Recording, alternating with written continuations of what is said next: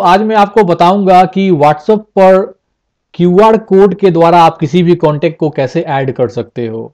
और इसके साथ यह भी बताऊँगा कि आपका खुद का जो व्हाट्सएप कॉन्टेक्ट है, जो आपका खुद का है, उसका क्यूआर कोड आप कैसे दूसरे लोगों को शेयर कर सकते हो ताकि वो भी आपके बिना कॉन्टेक्ट नंबर के आपका क्यूआर कोड को स्कैन करके आपके नंबर को ऐड कर सकें। बहुत इंपॉर्टेंट ये चीज़ है व्हाट्सएप का।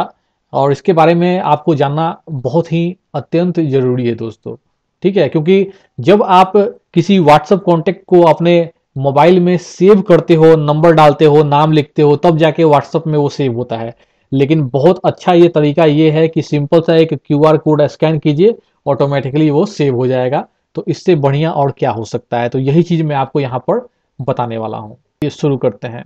सबसे पहले आपको जो है व्हाट्सएप को यहाँ से ओपन करना है। ओपन हो जाएगा स्क्रीन इस तरह का आपको दिखेगा। यहाँ पर जो है तीन बिंदु है जिसको मीनू भी कहा जाता है, इसको क्लिक कर दीजिए। उसके बाद आप सेटिंग को यहाँ पर क्लिक कर दीजिए। इसके बाद आप देखो यहाँ पर एक आपको, आपके नाम के सामने जो है एक क्यूआर कोड का एक लिंक मतलब कि इमेज दिखाई दे रहा है आइकन दिखाई दे रहा है। इसके ऊपर में आपको क्लिक करना है। आप जब क्लिक करोगे तो आपके खुद का कॉन्टेक्ट का जो है ये क्यूआर कोड यहाँ पर दिखाई देगा। मैंने इसको हाइड इसलिए किया है ताकि इसका गलत कोई उपयोग ना कर सके। तो आपको इस तरह का अपना खुद का क्यूआर कोड दिखाई देगा। अब ये क्यूआर कोड का जो इमेज फ़ाइल है, इसको आप शेयर कर सकते हो यहाँ से किसी को भी।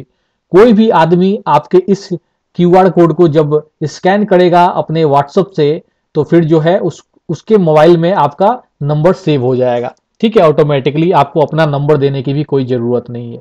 ये तो आपका क्यूआर कोड हो गया, इसको आप शेयर कर सकते हो, लेकिन किसी दूसरे का क्यूआर कोड जो है आप कैसे स्कैन करोगे अपने मोबाइल में सेव करने के लिए उसका कॉन्टेक्ट इसके लिए आपको क्या करना है?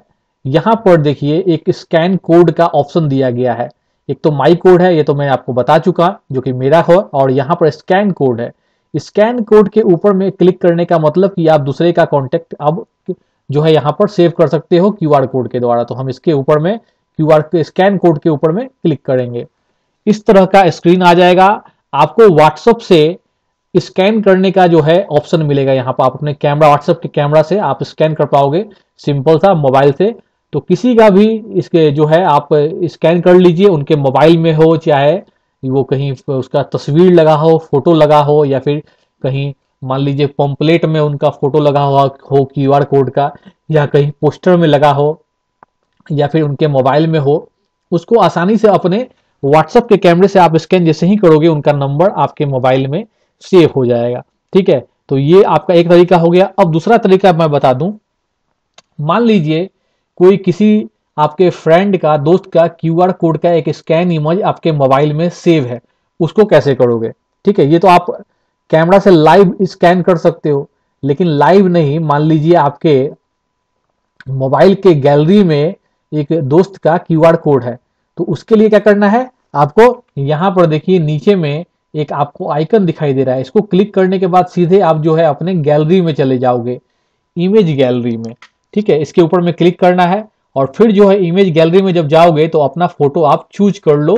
जो भी आपको आपके दोस्त थे या आपके फैमिली मेंबर थे उसका जो भी स्कैन कोड है क्यू आर कोड व्हाट्सएप वाला, उसको यहाँ से आप सेलेक्ट जैसे ही करोगे, उनका नंबर सेव हो जाएगा क्यू आर कोड के माध्यम से। तो दोनों तरीका है। लाइव भी आपने कर लिया और उनका कॉन्टेक्ट अगर जो आपके मोबाइल के गैलरी में अगर उनका फ़ोटो है क्यू आर कोड का तो उससे भी कर लिया आपने। ऐसा करने से दोस्तों, बहुत आपका जो है, समय जो है बहुत यहाँ पर बच जाता है और आसानी से जो है आप किसी का भी कॉन्टेक्ट जो है यहाँ पर सेव कर सकते हो। कल जो है बहुत सारा काम जो है क्यू आर कोड के द्वारा ही हो रहा है तो व्हाट्सएप में नया ये अपडेट आया है, जिससे आपका बहुत सारा काम आसान हो जाता है, समय बचता है। धन्यवाद दोस्तों, मिलते हैं हम लोग नेक्स्ट वीडियो में।